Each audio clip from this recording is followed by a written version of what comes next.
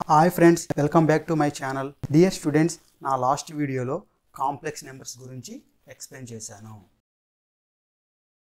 అలాగే వాటి conversion rectangular form to polar form polar form to rectangular form వాటి calculation గురించి ఎక్స్ప్లెయిన్ చేశాను. ఈ వీడియోలో ఈ కాంప్లెక్స్ నెంబర్స్ అప్లికేషన్స్ ఎక్కడ యూజ్ అవుతాయి?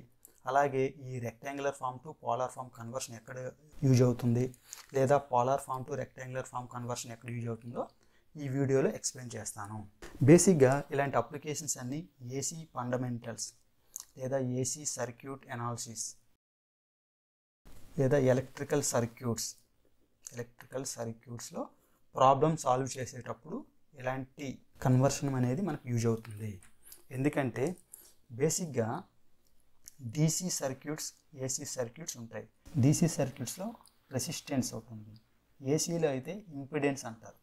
అంటే ఆర్ఎల్సి. ఈ మూడు పారామీటర్స్ మనం కన్సిడర్ చేస్తాం. రెసిస్టెన్స్ ఉంటుంది ఇండక్టెన్స్ అండ్ కెపాసిటెన్స్ ఈ మూడు పారామీటర్స్ కలిపి జెడ్ అంటారు ఇంపిడెన్స్ అంటారు. Unit also ohm year డీసీలో resistance unit also ohm so ఈ ఇంపిడెన్స్ని ఎలా ఇండికేట్ చేస్తారంటే Z is equal R plus J XL minus XC అంటే రెసిస్టెన్స్ ఉంటే దీన్ని ఫామ్ రెసిస్టెన్స్ ఎల్ ఉంటే దీన్ని జేఎక్స్ఎల్ దీన్ని ఇండక్టివ్ రియాక్టెన్స్ అంటారు. అలాగే కెపాసిటర్స్ ఉంటే మైనస్ జే ఎక్సి దీన్నే కెపాసిటివ్ రియాక్టెన్స్ అంటారు. సో ఈ పారామీటర్స్ ఇస్తే దీన్ని రియాక్టెన్స్ ఫామ్లోకి మార్చుకోవాలి. రెసిస్టెన్స్ ఉంటే రెసిస్టెన్సే దాని రియాక్టెన్స్ అవుతుంది. ఇట్స్ యూనిట్స్ ఓమ్ అలాగే ఇండక్టర్ ఇస్తే జేఎక్స్ఎల్ ఇది ఇండక్టివ్ రియాక్టెన్స్ అంటారు. దీని units also ohm and similarly capacitor. దీన్ని కెపాసిటివ్ రియాక్టెన్స్ ఫామ్లోకి మార్చుకోవాలి. That is minus J XC its unit also ohm. So observe చేస్తే ఏసీ ఎనాలిసిస్లో ఇంపిడెన్స్ అంటాం. R plus J XL minus XC అంటే ఇదేంటిది? ఒక కాంప్లెక్స్ నెంబర్ అనమాట సింపుల్గా మీకు చెప్పాలంటే కాంప్లెక్స్ నెంబర్ అందుకే ఇలాంటి ఏసీ సర్క్యూట్స్లో మన ప్రాబ్లమ్ సాల్వ్ చేయడానికి ఖచ్చితంగా ఈ ఈ కాంప్లెక్స్ నెంబర్ గురించి మనం తెలుసుకోవాల్సిందే. ఇలాంటి అప్లికేషన్స్ కోసమే ఈ conversions rectangular to polar polar to rectangular లేదా కాంప్లెక్స్ నెంబర్స్ అనాలిసిస్ మొత్తం మనకి ఇలాంటి అప్లికేషన్స్లో ప్రాబ్లమ్ సాల్వ్ చేయడానికి మనకి యూజ్ అవుతాయి. డియర్ స్టూడెంట్స్ మీ అందరికీ ఈజీగా అర్థం అవడం కోసం నేను సబ్జెక్ట్ లోతుల్లోకి పోకుండా అలాగే టెక్నికల్ అంశంలోకి పోకుండా కొంచెం ఈజీ మేనర్లో ఎక్స్ప్లెయిన్ చేస్తున్నాను. కాబట్టి ఇది అందరూ గమనించండి. మీలో ఎవరికైనా కొంచెం సబ్జెక్ట్ డెప్త్లో కావాలన్నా లేదా టెక్నికల్ పరంగా కావాలనుకున్నా కామెంట్ బాక్స్లో కామెంట్ పెట్టండి. డియర్ స్టూడెంట్స్ డీసీలో అయితే సింపుల్గా రెసిస్టెన్స్ అంటాం. ఏసీ సర్క్యూట్స్లో దాన్ని ఇంపిడెన్స్ అంటాం. ఇంపిడెన్స్ అంటే కాంబినేషన్ ఆఫ్ ఆర్ఎల్సి ఈ మూడు పారామీటర్స్ ఉండొచ్చు. ఆర్ ఉండొచ్చు ఎల్ ఉండొచ్చు సి ఉండొచ్చు. ఒకవేళ ఏదైనా లేకపోతే దాని బదులు జీరో సబ్స్టిట్యూట్ చేసేవచ్చు ప్రాబ్లం లేదు. బట్ ఉంటే జనరల్ ఫామ్ ఇది ఇంపిడెన్స్ ఒక జనరల్ ఫామ్. ఇప్పుడు సింపుల్ ప్రాబ్లమ్ ఒకటి ఇచ్చాడు. ఆర్ ఎల్ ఆర్ సి ఇక్కడ రెసిస్టెన్స్ అండ్ ఇండక్టెన్స్ సిరీస్లో ఇచ్చాడు. ఇక్కడ రెసిస్టెన్స్ అండ్ ఇక్కడ కెపాసిటర్ ఇచ్చాడు. ఇక్కడ కూడా సిరీస్లో వచ్చి టోటల్ కరెంట్ ఎంత ఇచ్చాడంటే ఫిఫ్టీన్ యాంపియర్స్ కరెంట్ ఇచ్చాడు. ఇక్కడ క్వశ్చన్ ఏమి ఇచ్చాడంటే ఈచ్ బ్రాంచ్ ఈ బ్రాంచ్లో కరెంట్ ఎంత? సపోజ్ ఈ బ్రాంచ్ కరెంట్ ఐ వన్ అనుకో ఐ వన్ ఎంత? అండ్ సిమిలర్లీ ఐ టూ ఎంత? And similarly power loss in branch I one so P one అనుకుందాం. అంటే ఏమవుతుంది? Power loss general formula I square R so ఇక్కడ current I one ఇక్కడ resistance suppose ఇది R one అనుకోండి. R one and similarly power loss at branch two ఈ second branch అనుకుందాం. P two is equal ఇక్కడ current I two I two square into ఇక్కడ resistance suppose ఇది R two అనుకుందాం. R two so ఇది వచ్చిన question ఈ బ్రాంచ్లో కరెంట్ ఎంత ఫ్లో అవుతుంది? అలాగే ఇక్కడ పవర్ లాస్ ఎంత? సిమిలర్లీ ఈ బ్రాంచ్లో ఎంత కరెంట్ ఫ్లో అవుతుంది? ఇందులో పవర్ లాస్ ఎంత? మనం క్యాలిక్యులేట్ చేయాలి. టోటల్ కరెంట్ ఎంత ఇచ్చాడు ఈ రెండు బ్రాంచ్లకి ఫిఫ్టీన్ యాంపియర్స్ ఈ ఫిఫ్టీన్ యాంపియర్స్ డివిజన్ అవుతుందండి. So total current I is equal fifteen that equal to I one plus I two అంతే కదా? ఐ ఏమవుతుంది? డివిజన్ అవుతుంది. సో మనం individual branch currents I one I two find out చేసి సిమిలర్గా individual power loss అనేది మనం ఫైండ్ అవుట్ చేయాలి అది మనకి ఇచ్చిన క్వశ్చన్ పవర్ లాస్ అనేది రెసిస్టెన్స్ ఉన్నప్పుడే హీట్ రూపంలో మనకు వేస్ట్ అవుతుంది. దాన్నే పవర్ లాస్ అంటాము. అదే ఇండక్టర్ అండ్ కెపాసిటర్స్ అయితే అవి ఎనర్జీ స్టోరేజ్ ఎలిమెంట్స్ అదే ప్యూర్ ఇండక్టర్ ప్యూర్ కెపాసిటర్ అయితే అక్కడ పవర్ లాస్ అనేది ఉండదు. కాబట్టి పవర్ లాస్ క్యాలిక్యులేట్ చేసినప్పుడు ఒక రెసిస్టివ్ ఎలిమెంట్ని మనం కన్సిడర్ చేస్తాము. కాబట్టి ఇక్కడ మనం ఐ స్క్వేర్ ఇంటూ ఆర్ వరకే తీసుకుంటాము. డియర్ స్టూడెంట్స్ డిసి సర్క్యూట్స్ కొంచెం ఒకసారి రిమైండ్ చేస్తాను చూడండి. ఇది ఆర్ వన్ ఇది ఆర్ టూ అనుకోండి. ఇది ఆర్ వన్ ఇది ఆర్ టూ ఇక్కడ కరెంట్ ఐ వన్ ఇది ఐ టూ ఇది టోటల్ కరెంట్ ఐ అనుకోండి. సో మనం ఇక్కడ సింపుల్గా టోటల్ కరెంట్ ఐ ఇచ్చాడు డివిజన్ అవుతుంది. ఇక్కడ ఐ వన్ ఇది ఐ టూ దీన్ని సింపుల్గా కరెంట్ డివిజన్ రూల్ అప్లై చేయండి. సో టోటల్ కరెంట్ ఐ తెలుసు ఇది ఐ వన్ ఐ టూ నాకు ఐ వన్ కావాలనుకుంటే టోటల్ కరెంట్ ఐ ఇంటూ దీనికి ఆపోజిట్ రెసిస్టెన్స్ అంటే R two by total resistance R one plus R two similarly I two కావాలనుకుంటే total current I into ఈ బ్రాంచ్కి opposite resistance R one by R one plus R two ఇది generalized మనం డీసీలు ఇదివరకు నేర్చుకున్నాం ఇది. లేదంటే వేరే మెథడ్ ద్వారా కూడా మీరు చేసుకోవచ్చు. నెట్వర్క్ రిడక్షన్ టెక్నిక్స్ కానీ కేవీఎల్ కేసీఎల్ ఇట్లా డిఫరెంట్ టెక్నిక్స్ ఉన్నాయి కదా ఏవైనా మీరు యూజ్ చేసుకొని సింప్లిఫై చేయొచ్చు. బట్ ఇలా సింపుల్గా రెండు ప్యారల్గా ఉన్నప్పుడు టోటల్ కరెంట్ ఇచ్చినప్పుడు కరెంట్ డివిజన్ రూల్ అనేది చాలా ఈజీగా అప్లై చేసుకోవచ్చు. అందుకే మనం ఈ ప్రాబ్లంకి ఈ మెథడ్ అనేది చూజ్ చేసుకున్నాం. ఓకేనా ఇప్పుడు ఇదే ప్రాబ్లం మీరు అబ్జర్వ్ చేశారంటే ఇది ఎలా ఉంది మనకి? ఇది కూడా సేమ్ కదా ఇది ఒక బ్రాంచ్ ఇది ఒక బ్రాంచ్ టోటల్ కరెంట్ ఇక్కడ కూడా అంతే కదా ఇది ఒక బ్రాంచ్ ఇది ఒక బ్రాంచ్ టోటల్ కరెంట్ కాకపోతే ఇక్కడ ఓన్లీ రెసిస్టెన్స్ ఇచ్చాడు. ఇది ఏసీ ప్రాబ్లం ఏంటి? ఏసీ ఏసీ అనాలిసిస్ ఇక్కడ ఏమి ఇచ్చాడు ఇండక్టర్ ఇచ్చాడు అండ్ కెపాసిటర్ కూడా ఇచ్చాడు. సో ఈ బ్రాంచ్ ఏమి ఇచ్చాడు ఆర్ ఎల్ అండ్ ఇక్కడ ఇచ్చాడు ఆర్ సి ఇచ్చాడు. ఆర్ టూ అనుకోండి. సి అనుకోండి. ఆర్ వన్ అనుకుందాం ఎల్ అనుకోండి టోటల్ కరెంట్ ఐ ఇచ్చాడు. అంతే కదా? ఇప్పుడు ఏసీలో దీన్ని ఏమంటున్నాం ఇంపిడెన్స్లు అంటున్నాం అంతే కదా? ఇంపిడెన్సే కదా అన్నాం మనం ఇందాక చెప్పుకున్నాం కదా ఏసీలో అయితే ఇంపిడెన్స్ అంటామని. డీసీ అనాలిసిస్ అయితే రెసిస్టెన్స్ అంటున్నామని ఇదివరకు చెప్పాను కదా. సో ఇది ఒక ఇంపిడెన్స్ ఇది ఏంటి? రెండు ఆర్ వన్ ఎల్ ఎలా ఉన్నాయి? సిరీస్లో కనెక్ట్ చేశారు ఇక్కడ ఆర్ టూ సి ఎలా ఉంది? సిరీస్లో కనెక్ట్ చేశారు. సో దీన్ని ఆర్ ఎల్ అంటే ఏంటి? ఇండక్టివ్ రియాక్టెన్స్ కదా. JXL plus j X L ఇలా రాయొచ్చే దీన్ని?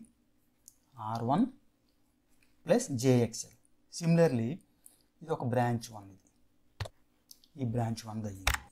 సిమిలర్లీ ఈ branch one resistance R two and capacitance ఈ రెండు ఎలా కనెక్ట్ చేశాడు? సిరీస్లోనే ఉన్నాయి. కానీ కెపాసిటివ్ రియాక్టెన్స్ వాల్యూ ఏంటి? మైనస్ జేఎక్సీ కదా. దీనికైతే జేఎక్స్ఎల్ కదా. ఇది ఏమవుతుంది? ఈ రెండు కలపాలి కదా. ఆర్ టూ మైనస్ జేఎక్సీ ఇదే కదా. ఇది బ్రాంచ్ టూ సో ఇండైరెక్ట్గా వాడు అదే ఇచ్చాడు ఇక్కడ చూడండి. R one plus j X L R minus j X C so ఇక్కడ ఈ ప్రాబ్లంలో డైరెక్ట్ వాడు ఇచ్చేసాడు. టెన్ ప్లస్ జే ఫిఫ్టీన్ దీని ఇంపిడెన్స్ జెడ్ వన్ అనుకున్నాడు. అండ్ సిమిలర్ ఈ బ్రాంచ్ యొక్క ఇంపిడెన్స్ కూడా వాడు డైరెక్ట్ ఇచ్చాడు. Six minus j eight ohms. అంటే ఇక్కడ ఇండైరెక్ట్గా ఆర్ టెన్ ఇచ్చినట్టు ఇక్కడ సిక్స్ ఇచ్చినట్టు ఈ ఇండక్టివ్ రియాక్టెన్స్ జే ఫిఫ్టీన్ ఇచ్చినట్టు ఇక్కడ capacitive reactance minus j eight ఇచ్చినట్టు ఇండైరెక్ట్గా బట్ ప్రాబ్లంలో మీరు డైరెక్ట్గా సింప్లిఫికేషన్ చేసి వాడు ఇచ్చేసాడు ఎనీవే. సో ఎనీవే ఇది జెడ్ వన్ జెడ్ టూ. అంటే దీన్ని ఇప్పుడు మనము అంతే కదా? ఇది ఇంపిడెన్స్ ఈ రెక్టాంగులర్ బాక్స్ లాగా మనకి ఇండికేట్ చేస్తుంటారు జనరల్గా ఏసీలో ఇది టోటల్ కరెంట్ ఐ అనుకుందాం. ఇందులో ఐ వన్ అందాం. ఇందులో ఐ టూ అందాం. ఇది జెడ్ వన్ అందాం. ఇది జెడ్ టూ అందాం. ఇక్కడ కూడా సేమ్ ఇక్కడ కరెంట్ డివిజన్ రూల్ అప్లై చేస్తాం కదా. డీసీ అయితే ఐ వన్ ఎంత అవుతుంది?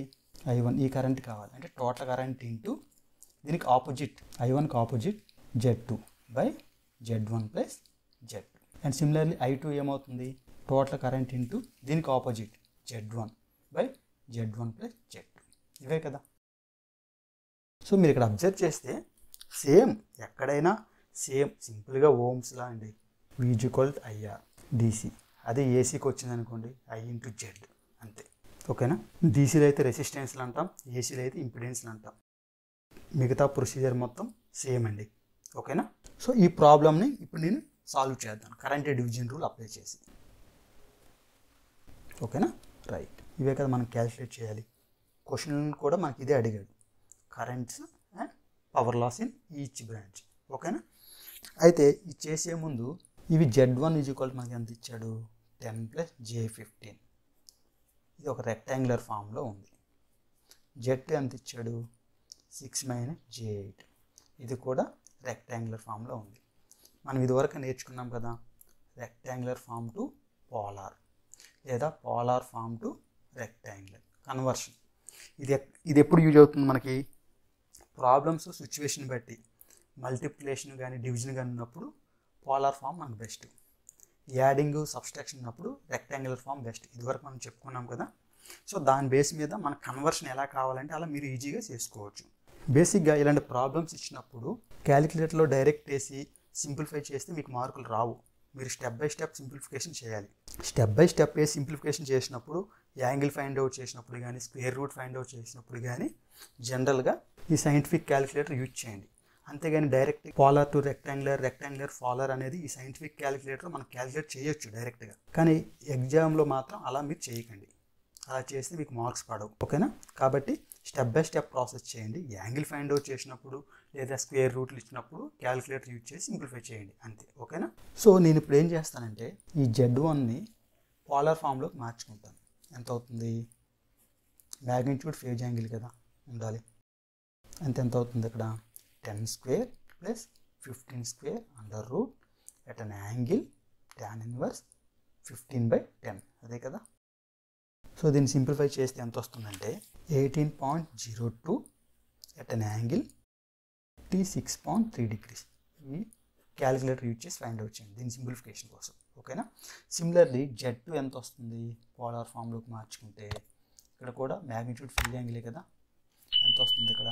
Six square eight square under root tan inverse Y by X అంటే మైనస్ ఎయిట్ బై సిక్స్ ఎంత అవుతుంది? Ten at an angle of minus fifty three point one degree so me problem simplification చేసే క్రమంలో మనకి రెండు రకాలు తెలుసు. రెక్టాంగిల్ ఫామ్ తెలుసు పోలార్ ఫామ్ కూడా తెలుసు. దీనికి జట్టుకి రెక్టాంగులర్ ఫామ్ తెలుసు పోలార్ ఫామ్ కూడా మీకు తెలుసు. సో ఇలా కన్వర్ట్ చేసుకుంటే మీరు సింప్లిఫికేషన్ చేసినప్పుడు మీకు రెక్టాంగులర్ ఫామ్ కావాలంటే రెక్టాంగులర్ ఫామ్ యూజ్ చేసుకోండి. లేదా పోలార్ ఫామ్లో సింప్లిఫికేషన్ అనిపిస్తే పోలార్ ఫామ్లో చేయండి. సో ఆ విధంగా సింప్లిఫికేషన్ చేసుకోవడం కోసం ఈ కన్వర్షన్ అనేది జనరల్గా మనం యూజ్ చేస్తాం. ఓకేనా?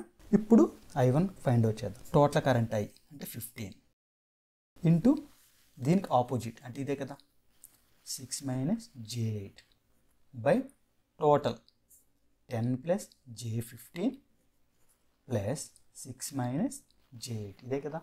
ఇప్పుడు ఇది ఎంత అవుతుంది fifteen angle six minus j eight by కలిపేసేయండి. Plus కదా. Real to real imaginary to imaginary ఎంత అవుతుంది ten plus six sixteen plus fifteen minus j అంటే ప్లస్ జే సెవెన్ ఇదే కదా. సో దీన్ని మీరు సింప్లిఫికేషన్ చేసుకోవచ్చు డైరెక్ట్గా రేషనలైజేషన్ చేసి లేదా క్యాలిక్యులేటర్ యూజ్ చేసి చేయొచ్చు. కానీ మనం హ్యాండ్ క్యాలిక్యులేషన్ చేస్తే మార్కులు పెడతాయి అన్నాం కదా. సో దీన్ని హ్యాండ్ క్యాలిక్యులేషన్ సింప్లిఫికేషన్ చేసుకోండి.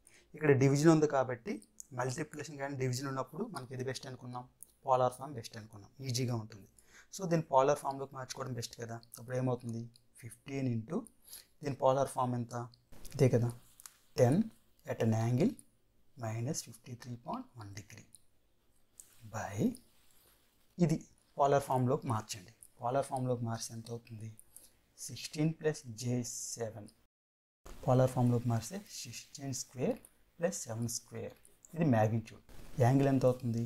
Tan inverse Y by X అంటే సెవెన్ బై సిక్స్టీన్ ఇది సింప్లిఫై చేస్తే seventeen point four six and similarly theta వచ్చేసరికి twenty three point six two angle ఓకేనా సో దీని బదులుగా నేను సబ్స్టిట్యూట్ చేస్తాను ఎంత అవుతుంది?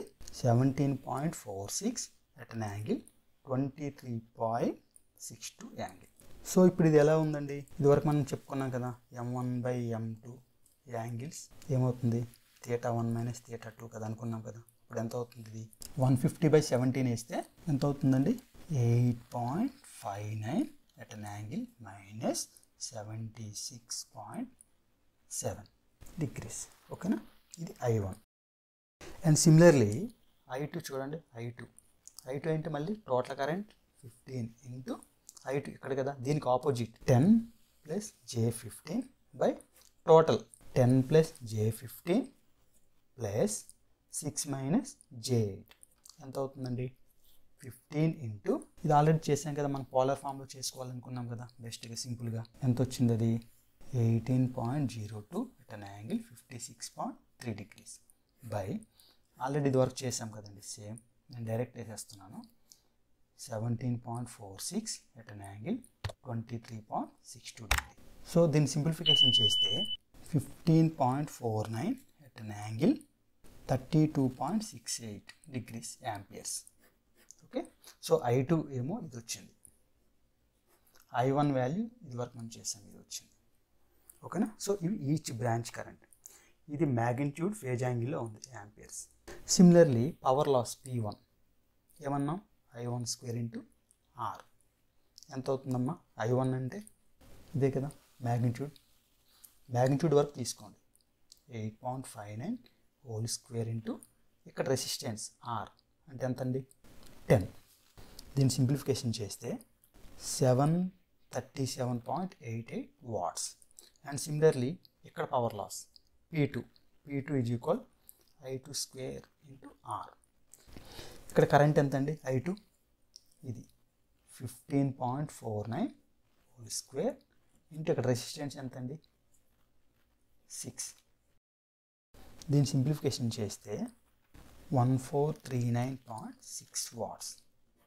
So ఈ విధంగా ఏసీలో ప్రాబ్లమ్స్ ఇస్తే మన కాంప్లెక్స్ నెంబర్స్లో పోలార్ కానీ రెక్టాంగులర్ ఫామ్లో కన్వర్ట్ చేసుకొని మీ క్యాలిక్యులేషన్స్ ప్రకారం చేసుకుంటూ వెళ్ళడమే. ఇక ఏసీ అనాలిసిస్లో మనకి వోల్టేజ్ కానీ కరెంట్ కానీ ఇంపిడెన్స్ కానీ వీటికి మ్యాగ్నిట్యూడ్ ఉంటుంది ఫేజ్ యాంగిల్స్ ఉంటాయి. సో ఏసీ అనాలిసిస్లో ఇలాంటి సింప్లిఫికేషన్ చేయాలంటే ఖచ్చితంగా మీరు కాంప్లెక్స్ నెంబర్స్ నేర్చుకోవాల్సిందే.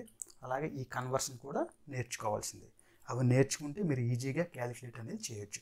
ఇప్పుడు ఈ ప్రాబ్లం చూశారు కదా ఈ కాంప్లెక్స్ నెంబర్స్ యొక్క యూజ్ ఏంటో మీకు అర్థమైంది అనుకుంటాను సో ఇలాంటి అప్లికేషన్స్ అన్నిటి మనం చేయాలంటే ఖచ్చితంగా కాంప్లెక్స్ నెంబర్స్ అనేవి మనకు అవసరం. డియర్ స్టూడెంట్స్ ఏసీకి డీసీకి డిఫరెన్స్ ఏముండదండి? ఇలాంటి క్యాలిక్యులేషన్ చేసినప్పుడే ఎక్కడైతే అన్ని వెక్టర్ అనాలిసిస్లో చేస్తాం అక్కడైతే స్కాలర్లో చేస్తాం. ఓకేనా అదొకటి. అంటే ఇక్కడ అన్ని కాంప్లెక్స్ నెంబర్లో చేస్తాం అక్కడైతే అర్థమెటిక్లో చేసుకుంటూ వెళ్ళిపోతాం. ఇవే డిఫరెన్స్ అండి.